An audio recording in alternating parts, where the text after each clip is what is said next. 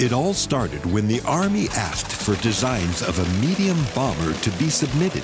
That was on January 25th, 1939. 40 days later, the B 25 was born. It is estimated that there are more than 100 North American B 25 Mitchell aircraft left in the world.